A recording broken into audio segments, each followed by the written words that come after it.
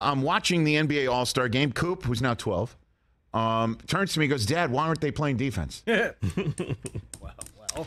Uh, and I'm like, you know, uh, it's an all star game, and it's kind of difficult to hear this because, you know, all star games used to be, for me, moments where everybody showed up in their own uniforms, right? like their own warm up uniforms instead of the, you know the the all star jerseys and uniform warm up jackets that Coop NBA would like me to buy for you. If you say, "Hey, Dad, I like that," okay, let me go right now to NBA.com and and and dial it up. The same way that every City. in the same way that that baseball does it for their All Star games, in the same way that the NFL used to do it for their Pro Bowl, now Pro Bowl games or whatever heck they they have morphed into it because we saw everybody stop playing defense.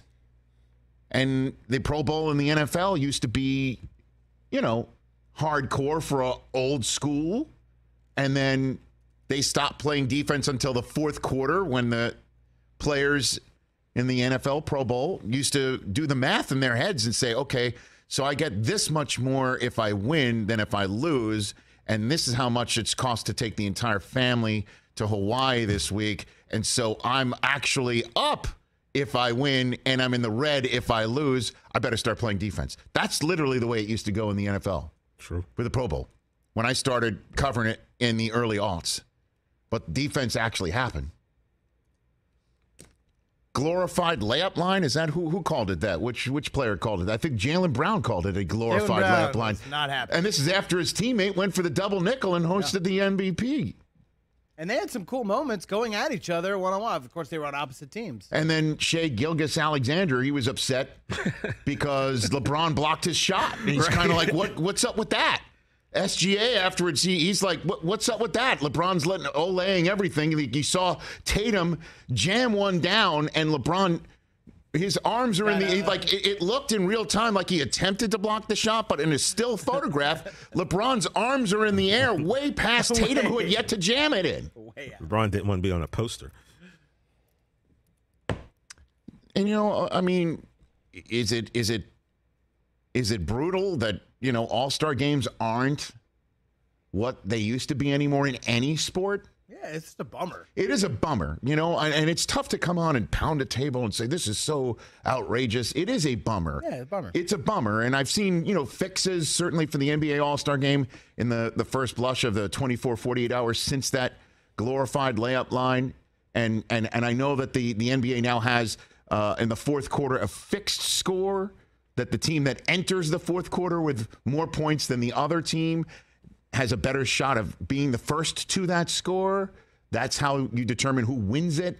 And thus, defense starts to maybe get played in the fourth quarter. But, you know, uh, it, it's just not a game anymore. And if you're trying to tune into an all star game to watch a game, you're not going to see one.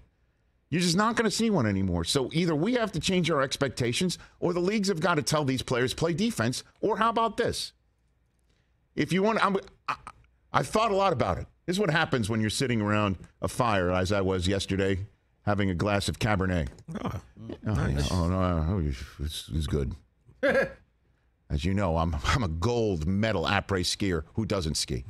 So Best in the world. Well, I mean, I should ski, but that's a different story for it's different. dangerous, Rich. All I'm saying is this: sitting around, I'm thinking about it. I'm like, what? Why is there no defense anymore in these All Star games?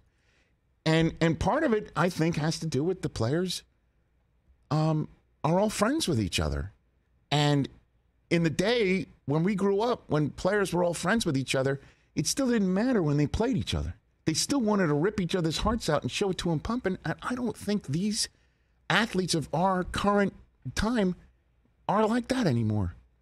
I don't know. I don't know. I don't. I don't think they really care about losing in a game like this because they all go back to their lives and are very happy. And I'm, I'm not just saying this is the NBA; it's the NFL too. You also don't want to get hurt in any of these games. Yeah, that's the You know big what I mean? And and and so it doesn't matter the the days of of us growing up where the competition really mattered more than anything else. That it didn't matter like Jordan back in the day where losing a game of quarters or pennies or to to the Security the guy? security Yeah. guard? you know where he he had to win everything right. Those days are gone, and they're not coming back. And another, and part and parcel of that is the conversation that I know that Kevin Durant and Kyrie Irving had with the media leading up to the NBA All Star Game. Is that them saying, "I don't want to play for the team that I'm contractually obligated to for the next several years"? I don't want to play for him anymore, so I say I don't want to play for you anymore, and I should get to go wherever I want. I should I should declare free agency whenever I darn well please in the middle of a long term contract because it's more interesting, as I think Durant said for the NBA, or Kyrie said, I don't think it's you know out of the realm to say I don't get along with every employer. Oh, by the way, when he said that, I'm like, oh really? yeah, Tell no. me more about that. No kidding. This just in, huh?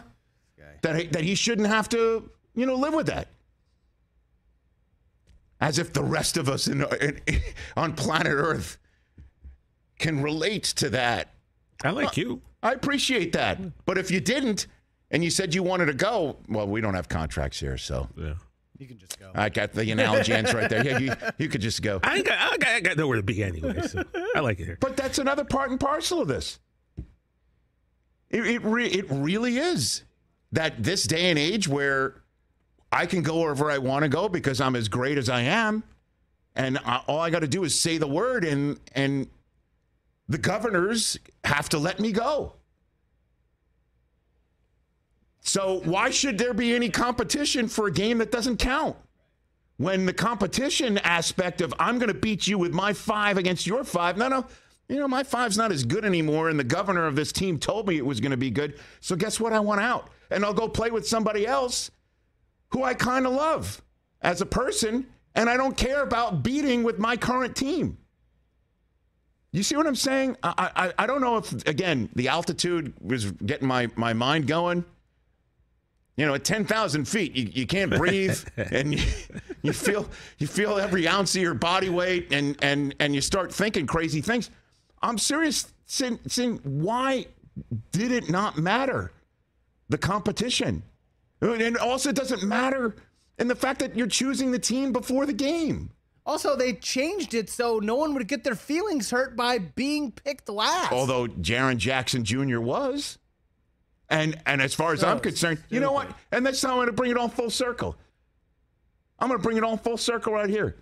Is that if you're Jaren Jackson Jr., if you're Triple J, you're thinking, to hell with all these guys. To hell with all of them. Because it should hurt you that you're picked last.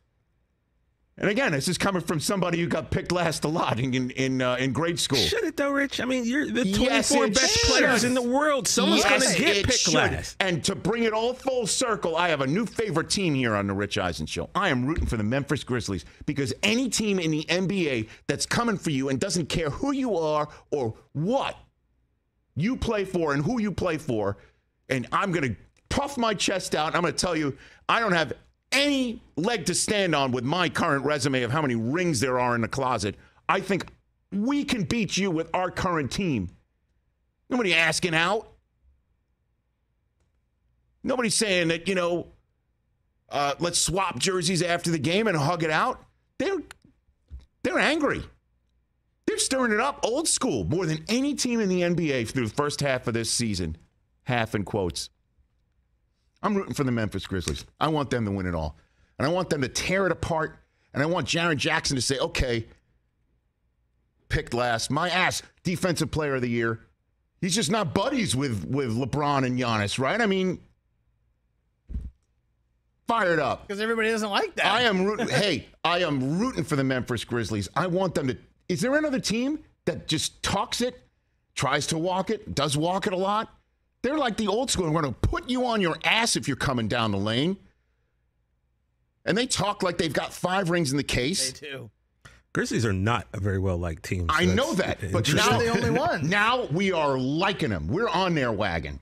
After this whole, yes, at least I am. I mean, I got I got enough teams. I think. I got it. you see what I'm picking? Are you picking down what I'm, uh, or picking up what I'm putting I could down take here? A West team. They could be my West team. Why not?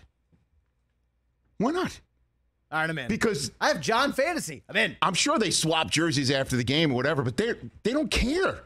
They're coming for you. Old school, like John Salley, who sat in his chair yesterday. And again, I think I'm making maybe a little bit more out of the NBA All Star game than not, but it just. I don't know, man. More Mac McClung and less layup line. That's what I want. More Dame time. Pulling up from 50 feet. I love him. Layup line. He's he's pulling up from he's pulling up from the logo in the parking lot. Man. So that was my take on the NBA All Star game watching it. Catch the Rich Eisen show every single day on the Roku channel, 12 to 3 Eastern for free.